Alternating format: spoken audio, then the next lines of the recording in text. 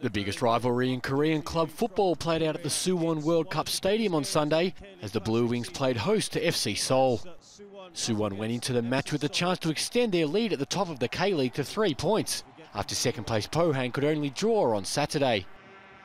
They were under pressure early on, goalkeeper Jung Sung Ryong busy throughout the first period.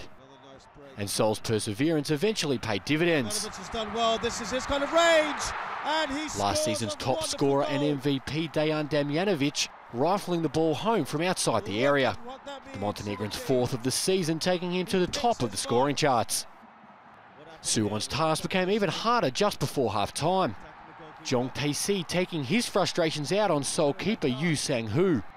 The referee with no choice but to show him a second yellow. Must been an awful day for him.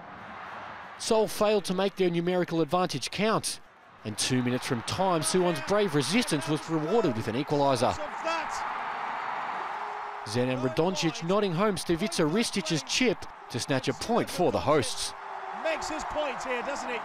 The draw keeps Suwon a point clear at the top, while Seoul will have to rue their missed chances as they languish in 12th. Suwon 1, FC Seoul 1.